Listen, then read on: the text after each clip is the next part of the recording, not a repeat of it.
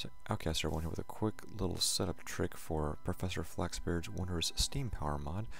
I've been doing some uh, testing here and getting some a little more automation out of this mod here using normal stuff here.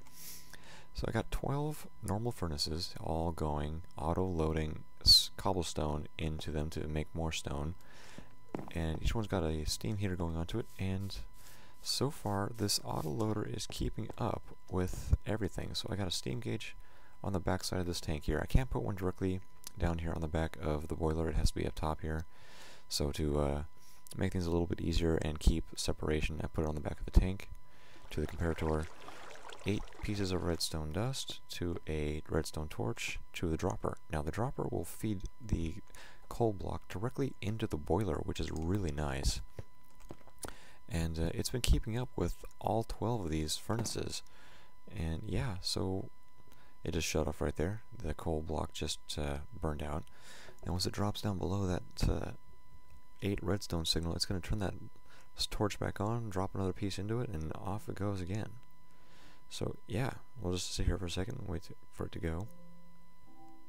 There it goes.